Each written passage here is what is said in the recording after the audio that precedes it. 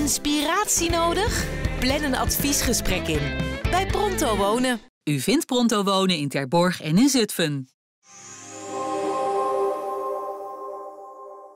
Zo heb ik hem wel over gedroomd natuurlijk. Uh, een goede goal denk ik en, uh, en, een gelukkige assist bij een uh, wereldgoal van, van Joey. En, en drie punten, dat is het allerbelangrijkste denk ik. op het einde nog wel billen knijpen, maar ja, blij met de drie punten, blij met mijn debuut. weer een uur gespeeld, was ook weer even geleden, dus ja, goede dag vandaag. Ik wilde zeggen een, een zakelijke, een degelijke overwinning, maar toen kwam die slotfase. Hoe heb je dat beleefd vanaf de bank? Ja, was, uh, was billenknijpen. Daar heb je geen invloed op hè, van de zijkant. Uh, ik loop wel te schreeuwen nog tegen de, tegen de jongens. Maar uh, nou ja, uiteindelijk, kijk, je kan een foutje maken achterin, de keeper. Um, maar goed, ik denk dat we daarna goed verdedigd hebben en, en die drie punten over de streep hebben getrokken. Neem ons eens mee door de rest van de wedstrijd. Want uh, Topos, het werd al gezegd, een stugge tegenstander. Veel naar achteren zakken, lastig om kapot te spelen. Hoe hebben jullie dat aangepakt?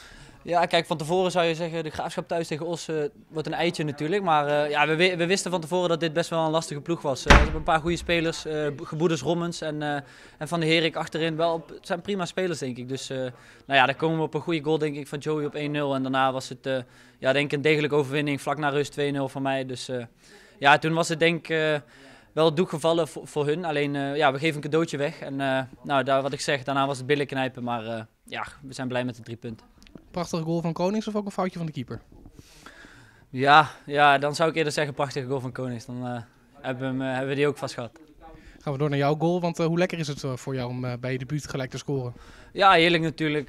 kijk, het, het, was wel heerlijk om, om vanaf het begin te starten en, en vertrouwen te krijgen van, vanuit de club, van de trainer. En nou ja, om dan te bekronen met een goal is gelijk, gelijk belangrijk zijn voor de ploeg is heerlijk.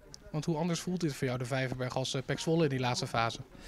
Ja, ja natuurlijk uh, valt er last van mijn schouders, denk ik. Uh, ja, lang naartoe ge, geleefd zeg maar, om daar te vertrekken. En uh, nou, uiteindelijk is het gelukt en heeft de, deze club daar weg te weten te krijgen. En daar ben ik alleen maar blij om.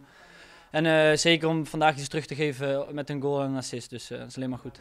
Als je kijkt naar die eerste divisie, hoe, hoe, schat jij de Graafschap in als je het vergelijkt met de concurrenten Cambuur en Almere?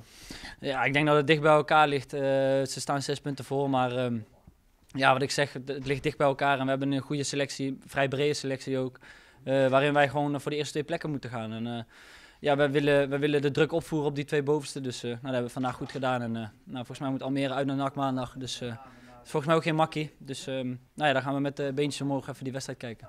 En zij zien ook dat de Graafschap Clint Leemans in die laatste week nog haalt. Zij zien ook dat de Graafschap misschien nog met andere spelers bezig is. Ze zien de Graafschap winnen de afgelopen weken. Hoe denk je dat ze zich voelen in, in Almere en Leeuwarden? Ja, kijk, eh, wij, wij focussen ons met name op onszelf. Maar ik denk dat zij wel, uh, ja, ze zien een goede graafschap wat goed draait, uh, wat punten pakt. Ehm, de selectie wordt sterker. Dus ja, ik, misschien beginnen ze wel billen te knijpen. En ja, wij moeten gewoon zorgen dat we de druk blijven opvoeren, blijven winnen. gewoon alleen maar naar onszelf kijken en dan moet het goed komen. Als je kijkt naar de selectie, kan de ploeg nog meer kwaliteit gebruiken? Zou je nog, nog meer concurrentie misschien willen? Hoe kijk jij daarnaar? Kijk, het kan altijd beter. ik bedoel, ja, je, je kan, ja, wat ik zeg, je kan altijd beter, maar... Uh, wat, wat, er nu staat, vind ik echt een hele volwassen ploeg, denk ik. Uh, als ik vergelijk met, met, met Zwolle, vind ik dit misschien wel volwassener. Uh, misschien wel een stukje minder kwaliteit, maar heel volwassen achterin, zeer degelijk, geen gekke dingen.